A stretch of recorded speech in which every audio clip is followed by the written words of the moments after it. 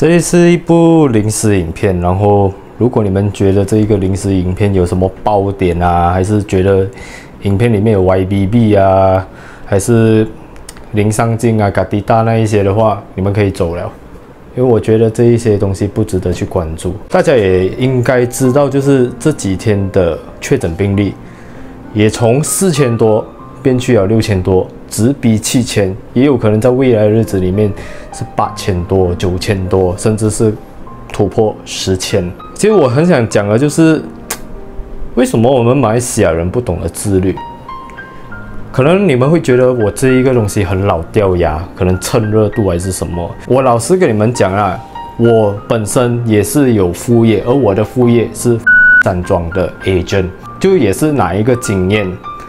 然后我也从我身边很多 安装的 agent partner 知道很多事情，也是关系到 COVID 的事情。我现在才知道，那一些中 COVID 的尸体，他们到底是怎么样处理的？我就觉得真的很悲惨。据我所知啦，每当有 COVID 的 case 的那一些大体啊。都是采用一些比较特殊的处理方式。在我讲这特殊的处理方式之前，我想要跟你们讲，据我所知道的是啊，每天都可以接到差不多五六单，关系到 COVID 而过世的那一些大体的那些 case，他们怎么样处理那一些大体？就是在停尸房那一边啊，就通知那一个相关家属，就讲哦。就某某某你的亲人啊，因为 COVID 过世了，所以我们现在要处理那个尸体，你们是完全没有办法认识，因为这一个尸体还存在着这一个 COVID 的病毒还在里面，所以我们会用特殊的方式来去处理这个大体。他们会先用一层白布把这一个大体给包起来，包起来了过后裹一层丝带。消毒一遍了过后，再裹第二层丝带，再消毒一遍，裹第三层丝带，再消毒了过后，才把它放进棺木里面。你知不知道了？那放进棺木嘛，我们每次如果以我们华人的习俗来讲，大殓小殓啊，都会放很多陪葬品啊，化妆化美美啊，穿衣服穿美美。可是如果你的亲人是 COVID 过世的话，基本上是没有这种待遇的。也就是讲，打包好了。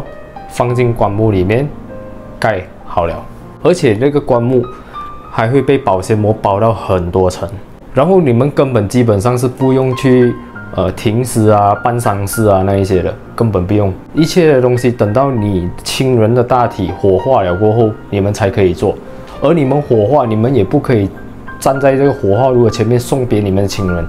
你们是站在离火化炉的距离，好像没有记错是五米的还是十米的里面，几乎可以讲是在火化场的门口送别，你根本没有办法参与。你们觉得这个病毒是开玩笑的吗？我可以跟你们讲，不认为。你们在网上看到的那些东西，你们认为是假的吗？是做戏的吗？我根本都不这样认为。我甚至我还刚刚看到有一些人。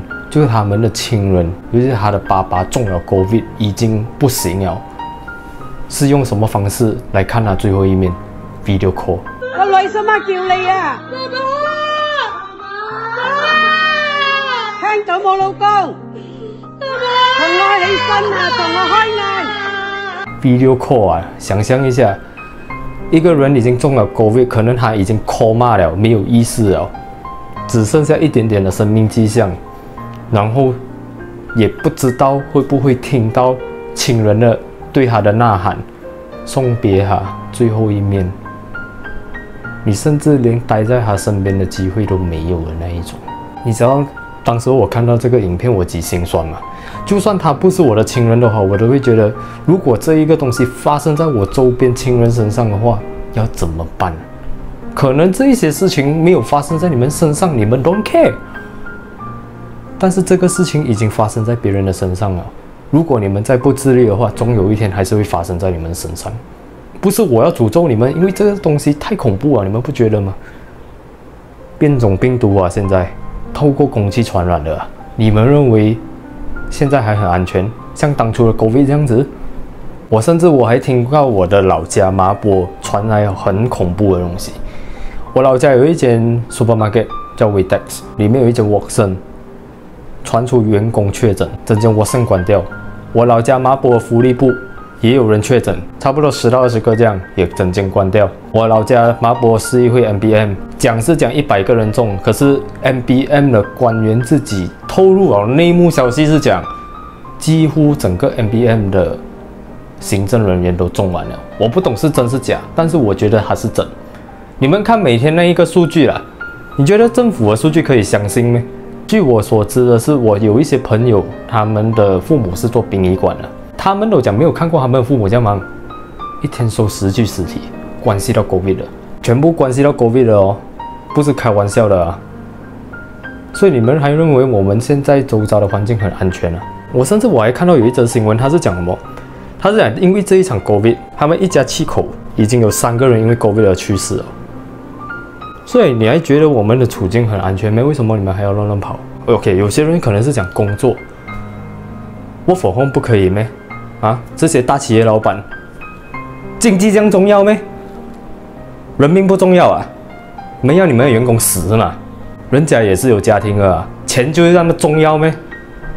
钱和人命哪一个更加重要？你没有命，你要怎么样赚钱？可能你我会得罪一些大企业，可是这是事实。可能你们会讲，哎，如果真的是把这一个东西给停止运作的话，呃，经济损失会影响。那么我可以跟你讲，如果你再不停止的话，迟早有一天马来西亚会变成印度这样子，你就会看到啊，在路边烧尸体啊那一种场景，你信吗？台湾啊，一天暴增三十多个 case，台湾人民都已经自动的不要出门，在家隔离。台湾没有宣布封城哦，啊，先讲好好，台湾没有宣布封城，可是台湾人民自觉，他们有自律，他们躲在家里面，他们已经有自觉到这个病毒太厉害了，但是我们每些人呢，每天还在那边到处乱跑。你要讲买生活必需品，为什么我还看到好像有人手牵手还过去买生活必需品呢？一个人去不就好咯 OK，我也是有出门，但是我出门拍片。半个小时我就回来了，然后我还全身进行了一些消毒。虽然讲我有疫苗，但是这次是变种病毒，不见得我身上的疫苗有用的。我也是做好防疫措施，我也是做好 SOP，就是已经做足了很多功夫，我们才敢去拍片。而且我们出门拍片，我们也没有讲很久了，一下子好刷走了，不要留太久。所以你们有时候看到我的影片啊，就很像没有什么这样子。其实老实讲，我也很想发挥，但是没有办法，现在是非常时期。难道你还想要死更多人没？最后我想要跟大家讲啊，就自律一点啊。我们政府已经够烂了，现在只有自救才可以救到自己，不然的话，刚刚我上面所讲到的东西啊，都会一一实现在你们的身上。如果你们真的是觉得这个世界很厌烦啊，不想活了啊啊，你们就继续，你们继续以外，不要出去外面害人，OK？很多人还想要活着的，不要出来害人，OK？你们这些人不要出来害人了，真的，造孽！现在我们马来西亚的 weekly case 可以讲可以 fight 过印度了，我们已经在全球第二名了，每周确诊人数暴增。可以真的是放在第二名啊！你们还想要怎么样？不自觉一点咩？钱有那么重要吗？命重要还是钱重要？